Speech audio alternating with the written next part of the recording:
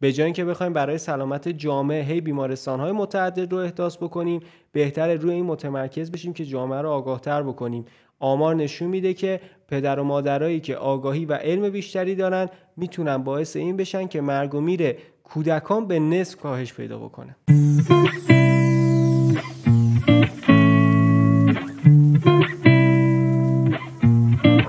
سلام دوستان امیدوارم حالتون خوب باشه. ارشیا عبدالکریمی هستم از استودیوهای Timeless Room امیدوارم از محتوایی که تا امروز آماده کردم لذت برده باشین و اگر این محتوا لذت بردین حتما ویدیو رو like کنید کانال رو subscribe بکنید و لطف می‌کنید اگه ویدیو رو حتما از طریق channel یوتیوب ببینید لطف می‌کنید اگه دوست داشتین حتما برای باقی افرادم بفرستید تو این قسمت می‌رسیم به قسمت سوم یا همون بخش سوم از کتاب واقعیت هانس روزلینگ تو این قسمت می‌خوایم راجع به یه مبحثی صحبت بکنیم که تا به کشور ما مربوط میشه. یعنی یه بخشی از کتاب یه مثالی و یه داستانی توش گفته شده که به کشور ما برمیگرده و اتفاقا می‌خواد بگه که چقدر توی کشورهای غربی یا جاهای دیگه دنیا راجع به کشورهای حالا یه مقدار در حال توسعه دارن بد فکر می‌کنن و توی اشتباهن.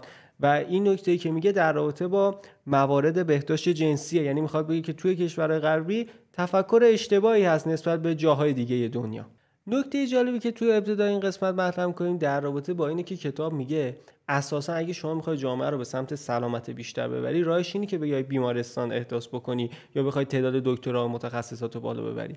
میگه ما دیدیم که اثر این که یک پدر و مادر یا پرستارا یا افرادی که با بچه ها سر و کار دارن آگاهیشون بالاتر بره اثر بیشتری داره روی سلامت جامعه.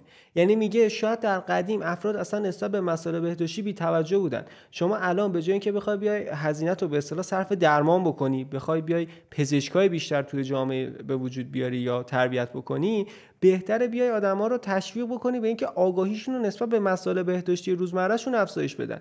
یعنی اینکه میگه آقا توی زمان ما الان پدر و مادرها خیلی رعایت بیشتری می‌کنن. وقتی می‌خوان یه چیزی رو به بچه بدن خیلی با مراعات بیشتری این کار می‌کنن. اگه می‌خوان یه دارویی مصرف کنن حتما پشتش رو می‌خونن.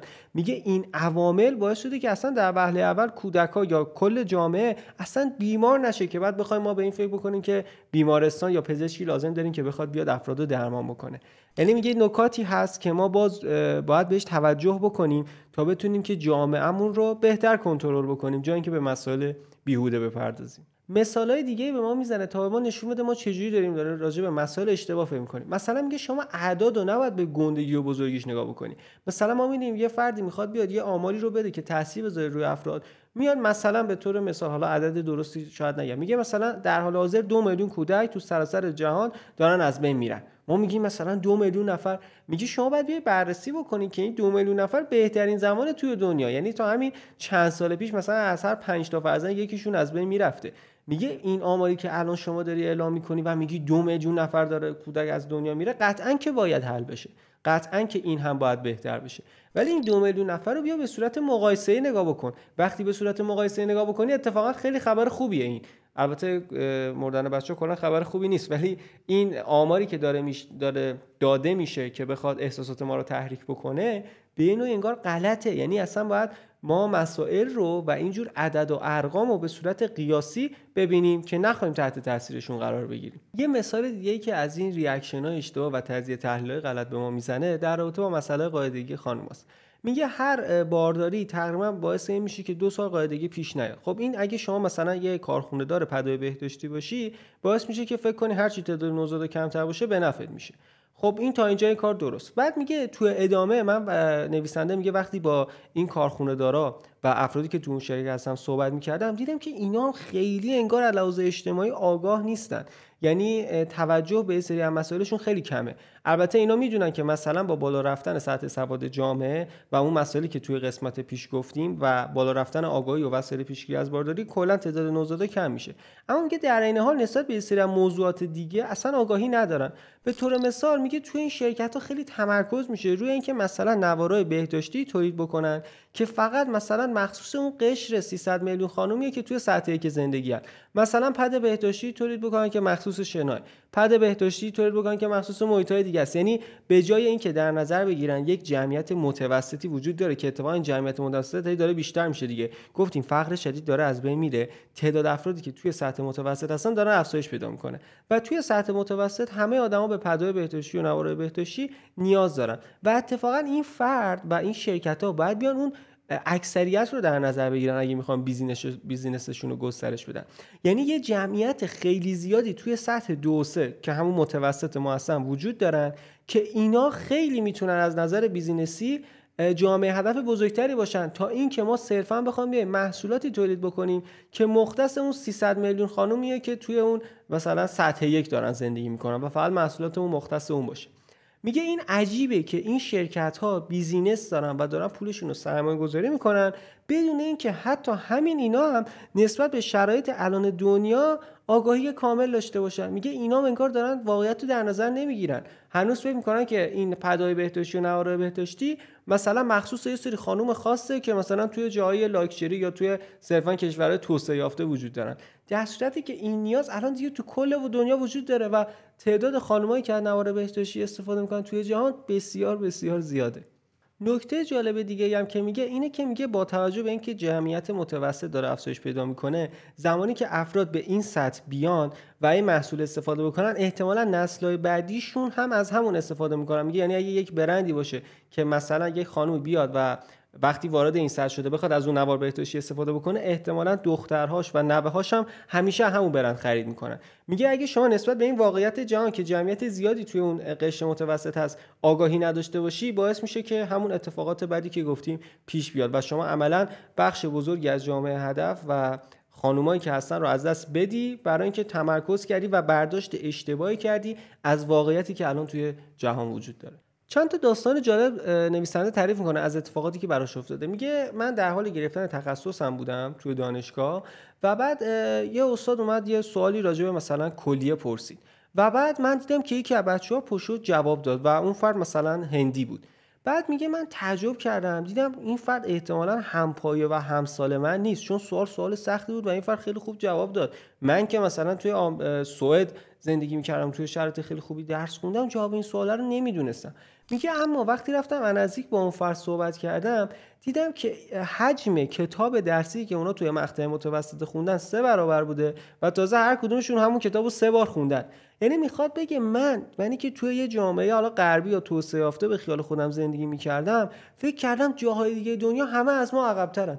در که واقعیت این نبود. من دیدم که یک دانشجویی که اومد توی دانشگاه در کنار من قرار گرفت چقدر اطلاعاتش زیاد بود و من اصلا از قبل فکر نمی‌کردم که این سطح آموزش توی یک کشور دیگه مثل هند بالا باشه. نکته دیگه که به ما مطرح می‌کنه دلبستن به کلمات مثلا میگه گفته میشه که مثلا اکثریت زنان در حال حاضر از نوار بهداشتی استفاده می‌کنن. میگه من خودم باید توجهم به این کلمه اکثریت هم جلب بشه. میگه آقا 51 درصد میشه اکثریت 99 درصد میشه اکثریت. اما فرق این توم خیلی زیاده. حدود 40 درصد 50 درصد میشه خودمون. می‌خواد بگه که شما اگه می‌خوای مطالب رو درست تجزیه تحلیل بکنی باید حساس باشی به این موضوع باید به این بازه ها حساس باشی و یعنی همیشه دچار این خطاهای شناختی و عملکردی میشی. حالا می‌رسیم به بخشی از کتاب که برای ما خیلی جالبه یعنی بخشی که در رابطه با ایران توضیح میده. نویسنده بیان می‌کنه که من توی یه سخنرانی داشتم و بعد این سخنرانی یکی از دانشجوها اومد سراغ من و با من شروع به صحبت کردن کرد. توی اون جلسه ایشون یه داده ای داده بوده در رابطه با پیشرفت بهداشت جنسی توی ایران. میگه بعد این که من سخنرانی تموم شد یکی از دانشجوهای ایرانی سراغ من اومد و به من گفت که خیلی ازتون ممنونم که ذهنیت افراد رو در رابطه با کشور من تغییر دادین. میگه اکثریت این افراد ممکنه فکر کنن که سطح زندگی ما توی ایران در حد مثلا سطح زندگی توی کشوری مثل افغانستان که البته الان سطح زندگی توی کشور افغانستان هم خیلی افزایش پیدا کرده. این داستان مال چند سال پیش خود کتابم مال چند سال قبله. ولی میگه اکثری افراد در رابطه با ایران تصور خیلی بدی دارن و اصلا تصورشون درست نیست. بعد نویسنده خودش هم متعجب میشه از این نکته که این دانشجو میگه و بعد به این پی می‌بره که چقدر دانشجو نسبت به نقاط دیگه جهان بی اطلاعن و چقدر تصورشون غلطه. میگه توی کشوری مثل کشور ایران به شدت مسائل بهداشت جنسی رعایت میشه. یه مثال از موفقیتایی که در رابطه با کشور ایران می‌زنه میگه تو سال 1984 تعداد فرزندای هر مادر حدودا 6 بوده و 15 سال بعد این عدد رسیده به 3 یعنی یکی از بهترین پیشرفتایی که توی دنیا رخ داده. خب گفتیم همین کمتر شدن تعداد فرزندان یعنی بهتر شدن کیفیت زندگیشون و آگاهی بیشتر جامعه. از نکات جالب دیگه هم که میگه اینه که ایران توی دهه 1990 بزرگترین تولید کننده کاندوم تو جهان بوده و میگه به خاطر کلاسایی که قبل از ازدواج برای افراد میذاشته که بتونن مسائل جنسیشون رو کنترل بکنن و بهتر بتونن این بهداشت جنسی رو رعایت بکنن به شدت کیفیت این مسئله توی ایران رشد پیدا کرده و آگاهی جنسیشون خیلی بهتر شده و همزمان با اون تولید وسایل پیشگیری از بالداری هم افزایش داشته و ایران به یکی از بهترین مکانها یا بتونیم شاید بگیم پیشرفته ترین جاهای دنیا از نظر بهداشت جنسی قرار گرفته. هم به خاطر آموزش هم به خاطر امکانات و هم گفتیم خب به تبع آموزش اون افزایش آگاهی که جامعه داشته. بعد این سوال رو مطرح می‌کنه که الان شما از چه آدم غربی بپرسی فکر می‌کنه توی ایران این شرایط وجود داره؟ میگه الان کلینیک های ناباروری خیلی زیادی کلینیک های ناباروری خیلی زیادی توی ایران شکل گرفته و عملا از نظر بهداشت و حالا بلخص تو این موضوع بهداشت جنسی کشور ایران خیلی فوق العاده رفتار کرده و عملکرد خوبی داشته. اما شما وقتی بری مثلا تو ایالات متحده یا کشورهای غربی در رابطه با ایران سوال بپرسی قطعا تصور خیلی بدتری دارن از این موضوع. میگه که ما توی کشور کشورهایی هستیم که آزادی بیان دارن اما به تبع اون آزادی بیان باعث نشده که تفکر درستری داشته باشن. چرا؟ به خاطر همون مسائلی که توی تا این قسمت بارها تکرار شده. به خاطر اینکه تحت تاثیر رسانه هستیم تحت تاثیر قرایزی هستیم که داره ما رو سوق میده به سمت اون افکار منفی یا اگه منفی هم نباشه اشتباه. خیلی ممنونم از اینکه این قسمت رو نگاه کردید. امیدوارم براتون مفید بوده باشه و لذت برده باشین. لطف می‌کنید. اگه از این ویدیو لذت بردین حتما برای باقی افرادم بفرستید و حتما دو تا چنل ما توی یوتیوب یعنی تام رسوم داد و تام رسوم داد استودیو رو سابسکرایب بکنید. محبت بزرگتری می‌کنید. اگه ویدیو رو حتما از طریق چنل یوتیوب ببینیم. ممنونم از وقتی که گذاشتین. خدا نگهدار.